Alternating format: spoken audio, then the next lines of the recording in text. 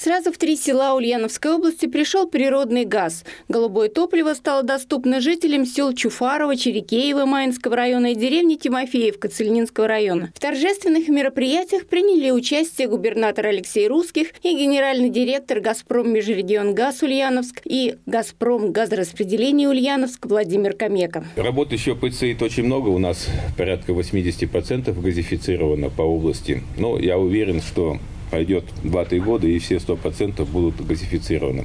Специалисты «Газпром» газораспределения Ульяновск за короткий срок ввели в эксплуатацию новый межпоселковый газопровод протяженностью более 33 километров, а также 18,8 километров внутрипоселковых сетей. Все объекты были построены в рамках программы развития газоснабжения и газификации Ульяновской области. Таким образом, создана техническая возможность для подключения 516 домовладений и двух соцобъектов. Газ в селе, мы все прекрасно понимаем, что это другой уровень жизни – возможность развития малого среднего бизнеса.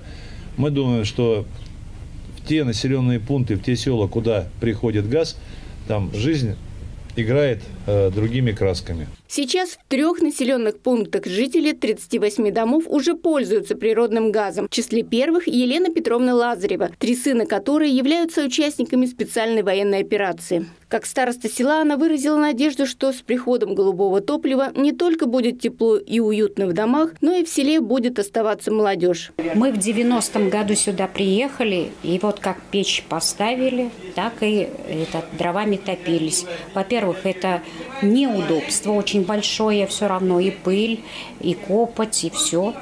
Печка есть, она печка. А потом дрова тоже стали дорогие. Потом их надо перепилить, переколоть. Все остальное. И печка сама не топится, ее надо истопить. Ну и потом, пока печка горячая, дома тепло. А это круглосуточно тепло. Очень хорошо. Также в деревне Тимофеевка в рамках дегазификации социальных объектов был подключен к системе газоснабжения фельдшерско-акушерский пункт. В учреждении получает медицинскую помощь более 130 жителей из 8 сел. Ну, сейчас, конечно, очень хорошо. Э, и спасибо, значит, это э, тех, всем, кто принимал газификации медицинского пункта и села. Хочу сказать большое, огромное спасибо человеческое. Владимир Комека напомнил, что на территории Ульяновской области продолжается программа социальной газификации. От населения принято почти 8 тысяч заявок. Более 50% из них уже пользуются природным газом. У нас сегодня в работе 4 межпоселковых газопровода. Как только эти газопроводы будут сдаваться, мы выходим на строительство внутрипоселковых сетей и начинаем подавать газ э, потребителям. То мы идем в графике, подписанном между губернатором Ульяновской области Алексеевичем Русских и председателем правления Алексеем Борисовичем Миллером. Все обязательства стороны выполняют.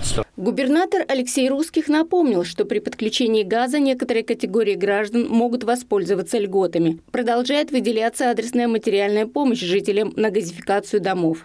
Да, у нас принято решение о выделении для семей, которые имеют не, ну, недостаточные как бы доходы вот, э, для ветеранов боевых действий, прежде всего ветеранов Великой Отечественной войны. Вот, э, до 100 тысяч рублей через наши социальные службы э, выплачиваются деньги как раз на внутренние сети, на приобретение оборудования – Кроме того, продолжает работу мобильный офис «Газпром» газораспределения Ульяновск. Он выезжает в отдаленные села для сбора заявок, чтобы жителям, особенно пожилого возраста, было удобно. Ирина Антонова, Олег Тоньшин, Улправда ТВ.